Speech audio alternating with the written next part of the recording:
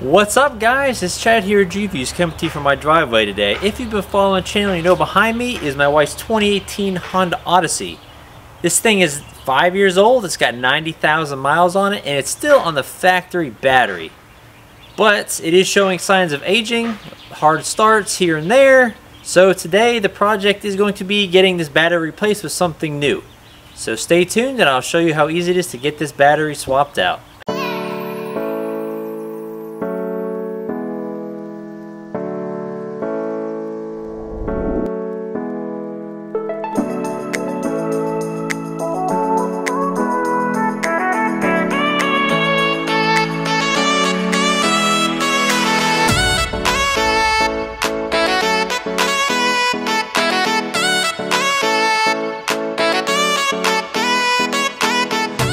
On these Odysseys, the battery is located on the driver's side.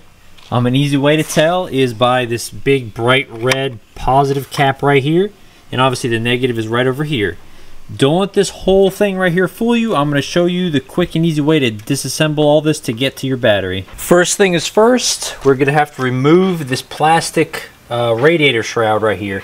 There's no screws on, involved on this one. All they are are just the plastic push pins. So you're going to want to lift straight up. Don't try to rip sideways. See how easy that was? Just pop them straight up. Keep working your way down.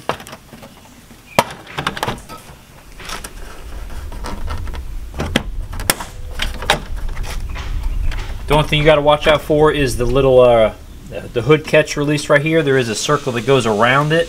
So try not to uh, pull on that too much.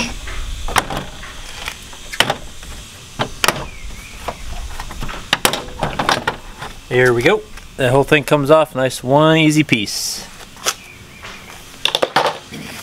Alright, next thing here is we have two uh, Phillips screws. So get your screwdrivers ready and we'll get that taken care of. Alright, let's get these two out of the way. Don't lose them. They are kind of a proprietary looking screw right here.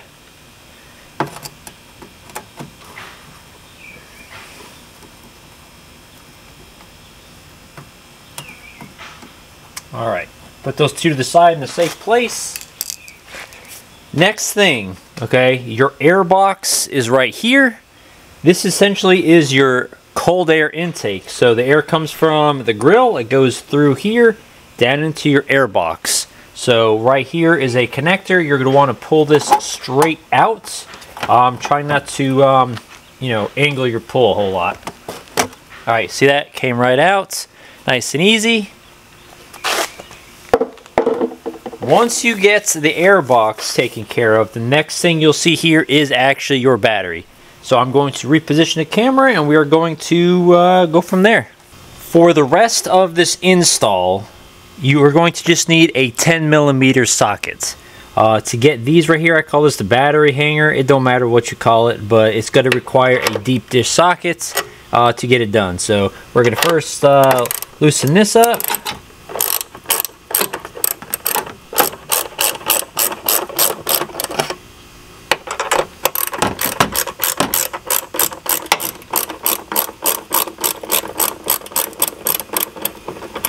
All right, once these are loose, you're not gonna have to uh, loosen them all the way, just enough to get the hangers down below um, out of the holes. So I'll show you what that looks like.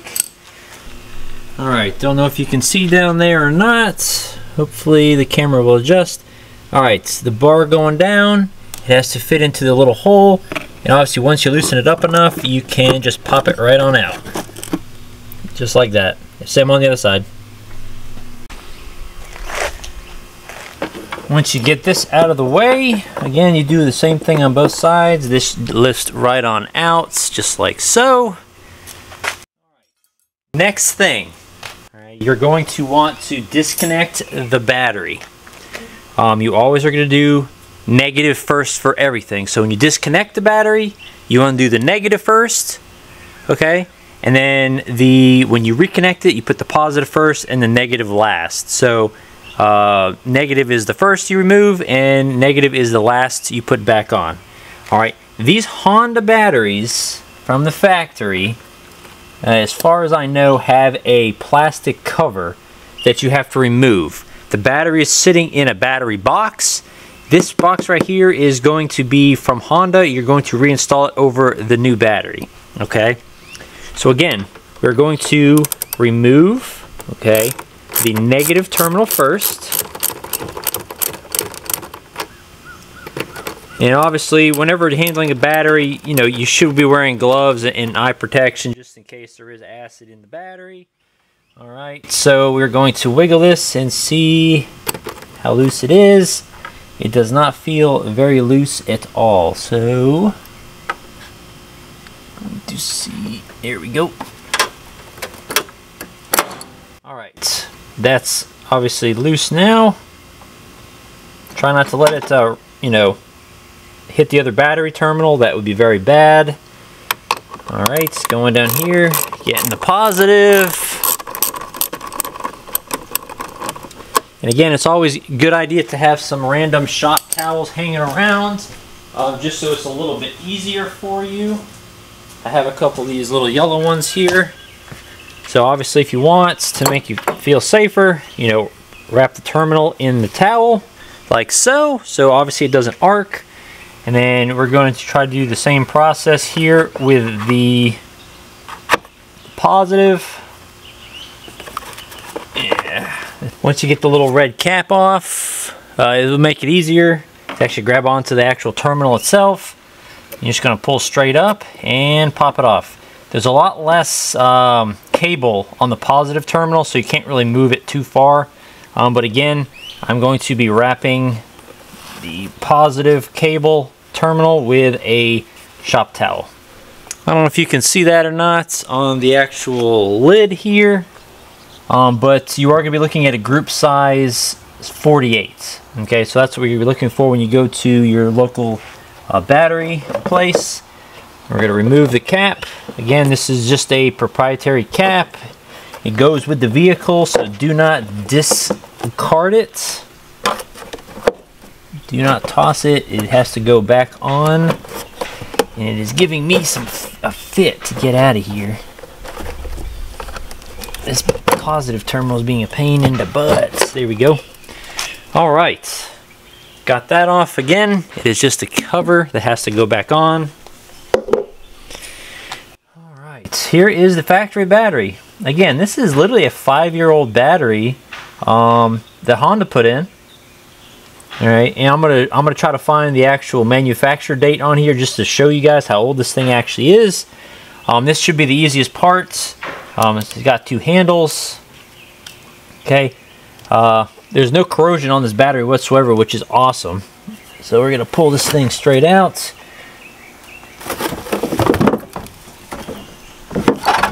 All right. While you are here, you might as well you know, vacuum out underneath the battery box. Uh, probably be a lot of garbage down there. All right, here is the factory battery. All right, it's a 650 cold cranking amps. Um, not really seeing the manufacture date. I was able to find it. I don't know if you guys can see that or not. It says 315 of 18. Okay. This vehicle was purchased somewhere in June of 18. So this is a pretty brand new battery. Um, here is the new battery I'm putting in. It is a Duralast Gold. It comes with a three-year warranty. This battery was right around $200. Uh, the specs on this one, again, it's a 48 group. It's an H6. This particular one has 730 cold cranking amps. And this one actually, they decided to put a nice little sticker that said the exact manufacture date of 423. So it is the first week in June, so this is a pretty brand new battery. Even comes with nice little caps on it for you and a handle. Don't forget to reinstall this factory battery battery box cover.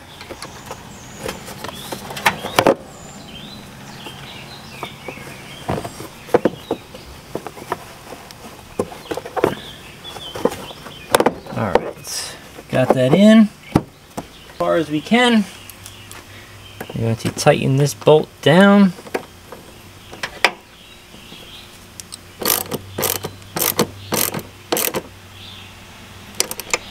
I mean, you want to snug it tight. Um, obviously, if it's loose and you hit a bump, your battery could come disconnected and that could be a big problem.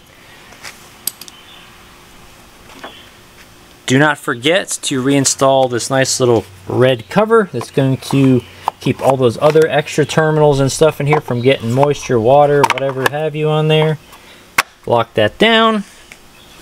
And uh, there we go on the battery. We're just going to affix the air box and the little shroud back and call it a day. Once you're sure your battery terminals are nice and tight, nothing's loose, we're going to want to reinstall the front of the air box. Again, just push this straight on in there. It is a rubber boot, so it's going to secure pretty easily. All right, you're going to want to line these up. All right, these push pins came out of the actual, um, there we go. These were kind of pressed into this piece, but when I put, trying to push this back down, they popped out. So try not to break them. They're kind of cheap plastic.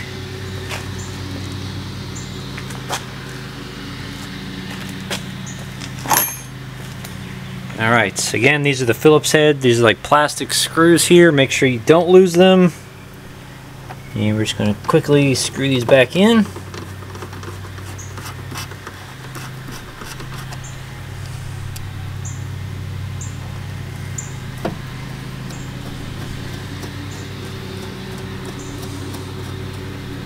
Got that. Alright, again, the plastic shroud that goes over this thing, I don't know if you can see or not, but for example, this right here, that's one of the push pin holes right here, and there's a couple here uh, and around that this goes back onto. Alright, again, the most important thing to remember is to pretty much line up this. This is going to be the uh, hood release catch there, and then this obviously too. So once you get all that lined up, the little push pins should line back up pretty well. Yeah. You hear that? Yep.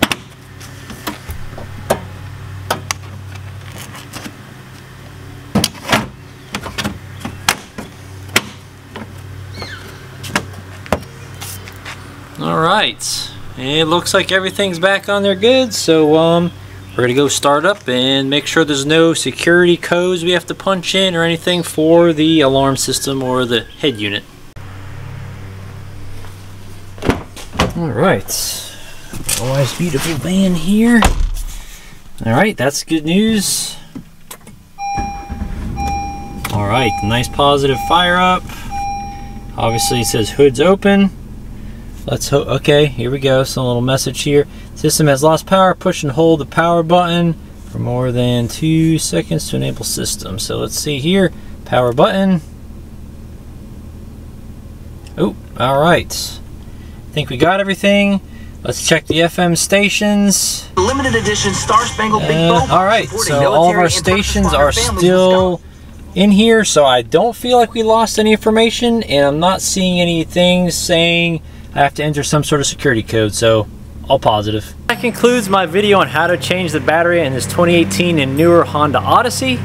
Uh, I know all the piping in the airbox is kind of scary for people who've never changed a battery before. You're used to seeing just the battery sitting there, easy to take out. Um, the guy at AutoZone did not want to do it because all that stuff was in the way, so you might have to do it yourself if you do go that route. If you have any questions or comments, please leave them in the description below, and as always, have a great weekend.